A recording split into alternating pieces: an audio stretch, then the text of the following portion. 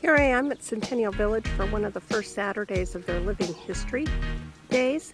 These are days that you can come out and just experience Centennial Village in a new way with different learning activities and demonstrations.